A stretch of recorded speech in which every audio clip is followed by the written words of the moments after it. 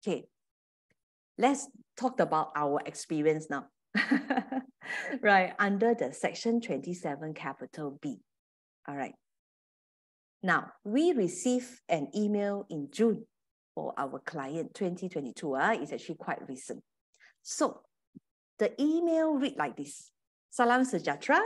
Okay. You, you, you can read the subject matter, right? The subject matter say, notice pemberitahuan kehadiran pemeriksaan fisikal uh, ke whatever the company. Yeah. Okay. Salam sejahtera. Tuan, tuan, dan puan, tuan dan puan, tuan atau puan. Perkara di atas adalah dirujuk okay, ad, uh, adalah dimaklumkan pegawai dari SSM akan menjalankan pemeriksaan fizikal berjadual ke atas the company. Okay, number two. Pemeriksaan fizikal akan dijalankan pada whatever the date lah. Sehubungan dengan itu, tuan-tuan dan uh, puan-puan, uh, tuan-tuan atau puan dikehendaki mengemukakan alamat ke atas rekod perakaunan Okay, rekod perakaunan dan rekod lain disimpan melalui email ke lembaga hasil email address and attention to the SS, uh, sorry, not lembaga hasil, uh, SSM uh, email and the PIC email uh, and the PIC person's name. Okay, tuan atau puan juga diberi uh, peringatan untuk memaklumkan kepada pengarah syarikat supaya bersedia dengan rekod-rekod perakaunan dan dokumen-dokumen sokongan seperti berikut. Now, ladies and gentlemen, what is the SSM looking for in this particular email? Okay, this is what they want. They ask for seven years, huh? just like a asset. It's just like lembaga hasil audit, uh, to be honest. Honestly, it feels like a lembaga hasil audit. Okay, so it asks for trial balance, profit and loss balance sheet. It also asks for GL, asks for your cash book, and all your sales ledger, buy ledger, bank ledger, and payment ledger, and ask for all source document for the year. I do not sanitize this for you is I wanted to show you the meaning of seven years, right? Now, this particular case, the interesting part is the company was registered in 2014. So the first perakaunan is actually 2015 lah. So basically, yeah, they ask for the company information since its incorporation. Okay, now we are in the year 2022. Do we count 2022 as year number one? If you look into this, right, the answer is no right? The last submission of the account was 2021, right? So they basically asked 2021 and backward seven years. So they, they are like going to audit the financial report of the company. That was what we received. Huh? So obviously, first time receiving this, quickly, quickly, quickly, have to talk to the client, da, da, da, da, you know, everything else. Lah. Wow, very kanchong already. Wow. So get everything ready. Okay then the SSM actually pay a visit. Okay, now after that, okay, now this date is actually, okay, uh, Cyrus, uh, sorry, Xiangbing, I believe this one is not June already, right? This one is September.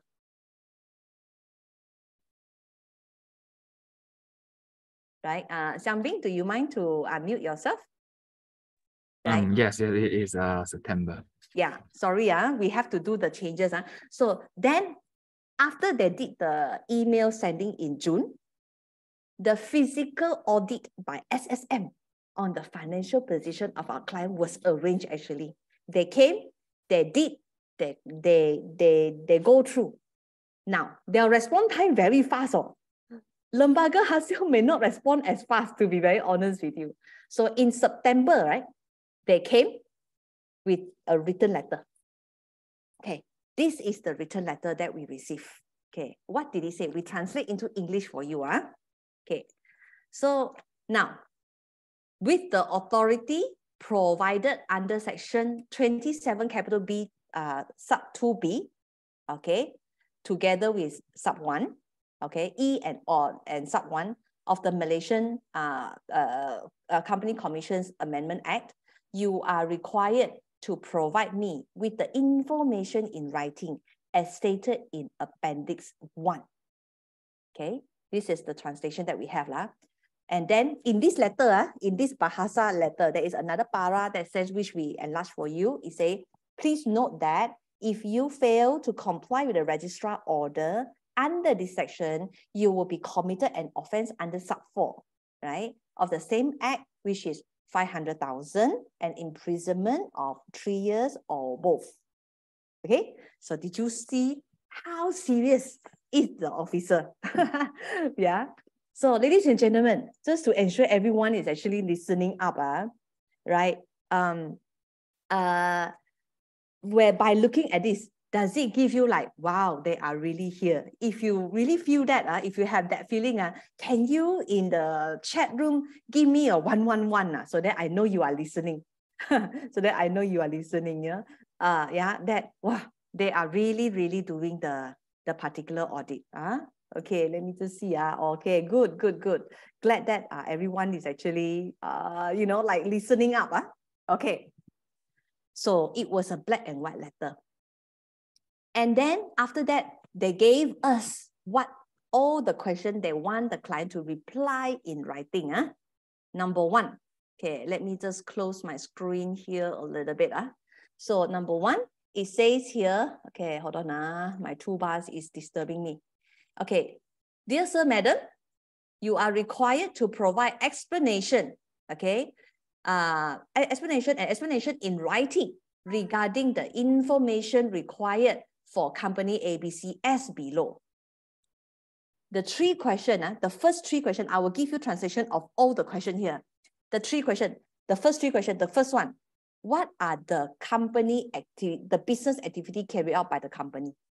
So looks like they are checking on your MSIC code also. Okay.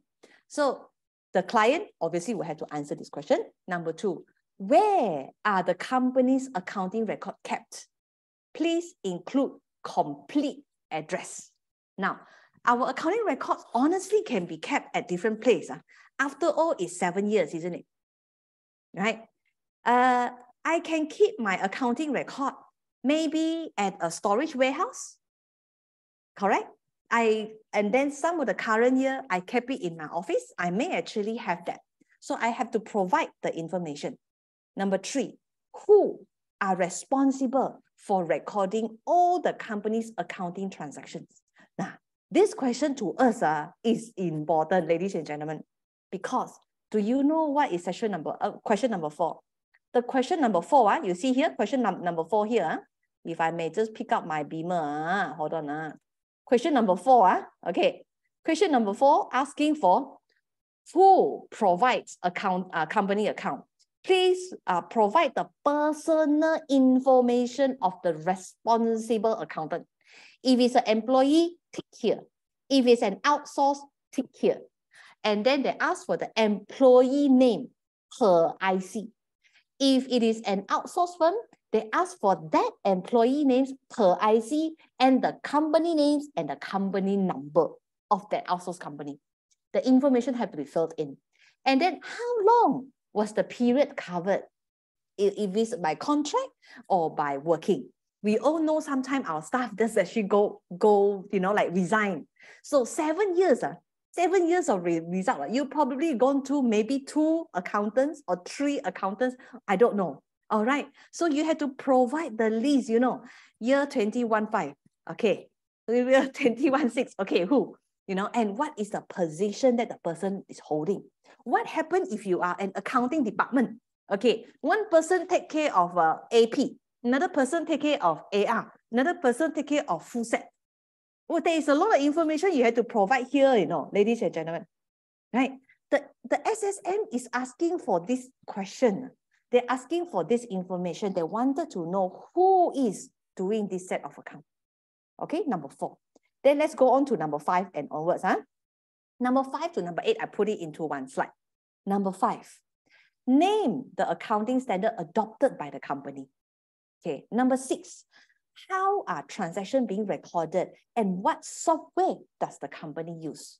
So if 2015, I'm actually using uh, UBS. At the, uh, after that, I changed to uh, AutoCount, right? So, you know, you actually have to mention uh, where are the records and what software are you actually using, okay? Number seven, please state the status of the accounts audited report since its incorporation. Status of the company's audited report, maybe uh, you have lapsed, maybe your opinion is not the same. Yeah, you may have qualified opinion, you have unqualified opinion, you have clean audit, you have not so clean audit on some years. Number eight, please state the name of the company auditor who has audited your company financial statement. If you change your auditor, obviously you actually have to come up with a written reply to them on this question uh, to say, okay, year one, who, year two, year three, year four, right? You actually have to let them know the auditor whom you use. Okay, now not finished yet. Number nine, where are the original document for each accounting transaction kept? So just now they ask for documents, right? It can be, you know, a lot of people say now cloud, whatever, whatever. Question number nine, where is your original document? Where is your source document? So looks like, right, SSM when come to keeping of records, uh, they do wanted to know whether your original or your physical document are still with you and where does it actually kept. Okay, number 10, please provide, okay, in this particular case, uh, just now is the 2015 to whatever, right? They ask for specifically, I want to know, uh, I still wanted to, I have picked up, I have gone through your information before. Now I want you to send me another copy, 2017 171819 2020. Okay, four years. I want to look into this four years. Pro, uh, balance sheet, P&L plus GL. Ladies and gentlemen, bearing in mind, they already come for visit in June. This is in September. They are still looking for additional information. Okay, now, number 11 is an important part. It's an important part. For this particular case, uh, for this particular case, it was a qualified opinion. It was a qualified opinion. So on the director's report, right? Director say, oh, where do I sign? You sign off. Oh, I am true and fair. Okay. And then the statutory declaration there uh, says the account is correct, but the audit opinion say I cannot form an opinion or I don't think the account is true and fair. Okay. So question number 11, SSM asks, please provide an explanation regarding the issue raised by the auditor of ABC for the financial year, that particular year, because seven years, ma, not everything is uh, uh, qualified, right? So, so maybe one or two years, okay. So this year, which is stated in what page to what page, they wanted to, they wanted the director to give a written explanation on the issue. Yeah, that uh, on the issues that's raised by the auditor, right? So straight away, we realize that, we realize that uh, SSM, we can no longer, we can no longer treat them like as a library. We can no longer treat them as a lodging center or a lodging station. We can no longer because they do actually have a power to really check on you, right? Under the Company Act, right? You have a record keeping rules that you need to follow you have sections to tell you how timely your financials supposed to be have entered into and you need to ensure the quality of these transactions being done okay now and they have the power under the ssm uh, own act they have the power to request for information even though in their laws right they never mention that they ask for financial information huh? but from this particular case, you realize that they zoom straight into the financial information. Okay. And as an a company secretary, right, we need to tell the SSM, uh, uh, we, we will always say the, the, the, the opinion uh, that is of this audited account is what. So, so now, uh, ladies and gentlemen, we see that the SSM is taking action to ensure better compliance right? So it's so important for us to really look into all this importance of the account. Now, do you know the transactions that they ask for? They have appendix some more. Ah. I wanted to know more about you. Uh.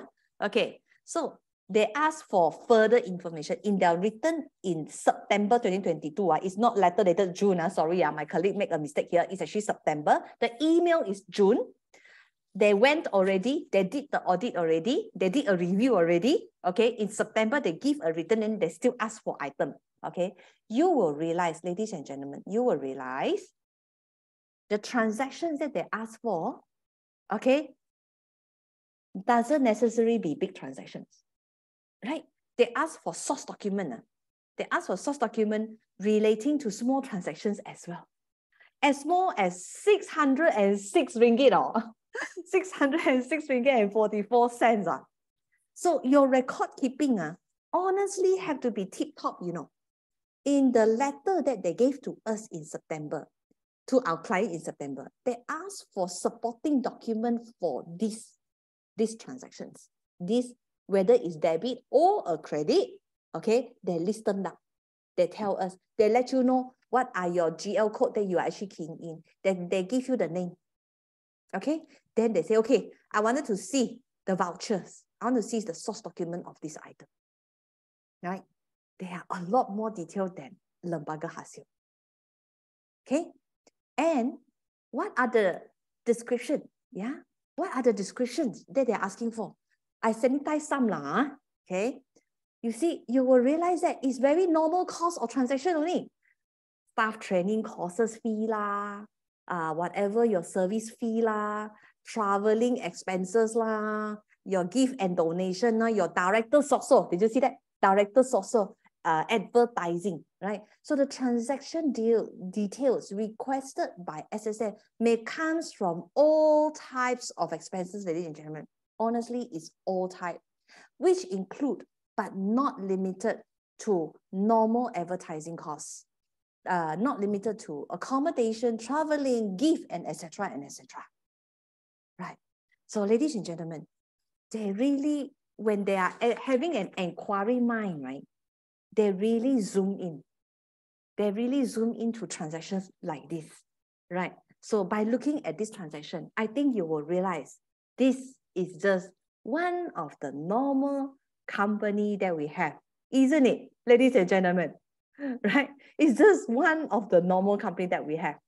The auditor was not able to actually form an opinion due to the weaknesses of the documentations, right? And they did a qualified opinion to the matter.